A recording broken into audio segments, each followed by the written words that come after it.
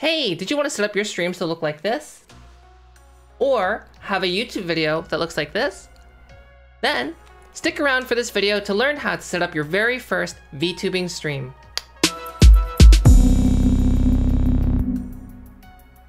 This video is brought to you by Private Internet Access. For fast, safe, secure web browsing to make it appear like you're from any country in the world, please click on the link in the video description down below. Clicking that link really helps this channel grow.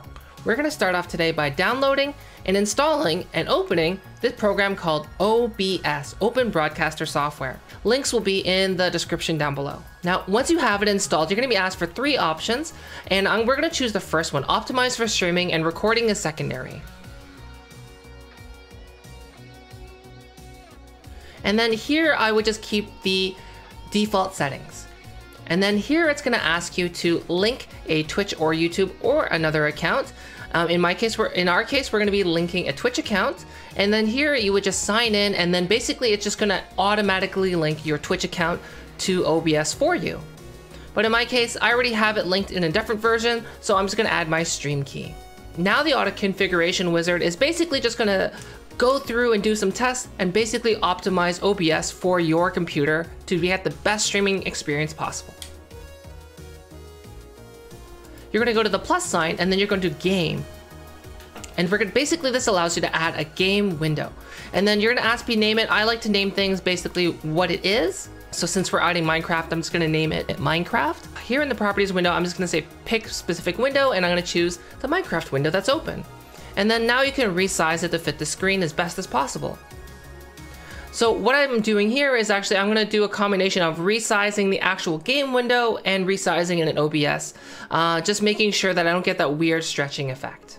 So now bringing in our VTubing avatar, we're going to be using the application called VSeeFace. If you want to know more about VSeeFace, I actually have a walkthrough on um, how to do that somewhere that's going to appear somewhere on the top of the screen. What you're going to do first is you're going to go down in the bottom corner and you're going to click that little square button and you should see the window train change to transparent.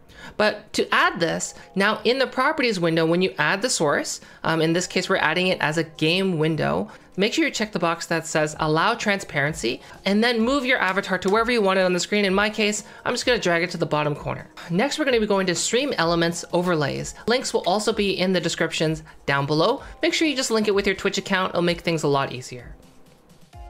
And then here we're going to create a new overlay and we're going to make it the same resolution as our canvas resolution just to make things a lot more simple. And then you're going to go to add widget and add an alert box. And this alert box has all the default things already set for you. And you can hit the bell icon that says emulate in order to be able to just test things out. And so what I'm going to do here is just I'm going to move it to where I want it. So in my case, I'm going to be moving it into the center of the screen. Then next we're going to be adding the chat window. With the chat window, just make sure that you can resize it, change the color, change the font. And here I'm just gonna be changing the font to white with a black outline just to make it a lot easier to read. And in Stream Elements, copy paste the link and make sure you, that's the browser source, URL that you're gonna be adding. And to add these overlays to appear on your stream, all you need to do is once again, go to the plus sign, but this time we're gonna add a browser source.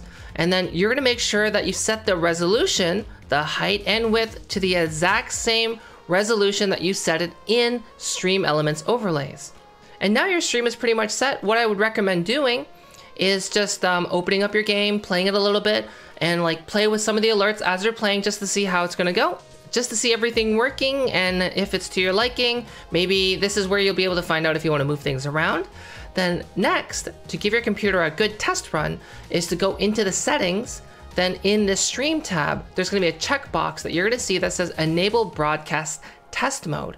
And in broadcast test mode, basically it puts it puts OBS into a test stream mode. It allows you to stress test your computer under streaming conditions without actually having to stream. And this is where you're gonna know if you need to fine tune any of the settings or to see um, if you are dropping any frames. Now, in the off chance, for some reason, if your audio sources were not detected, then all you need to do is just go to the plus sign in the sources and then add two different sources. You're gonna be adding the desktop audio, audio output and audio input for the audio input, make sure that you select your microphone. And for the audio output, I just like to select the, the default just because it'll automatically choose whatever you're hearing for you.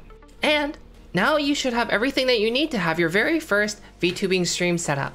If you found this video helpful, or you want to know more about VTubing stuff, a playlist should be popping up with a bunch of cool VTubing videos if you want to learn more about it, or um, basically learn how to do more cool VTubing avatar stuff. Also, I stream on Twitch four times a week, and um, I hope to see you there. Bye bye.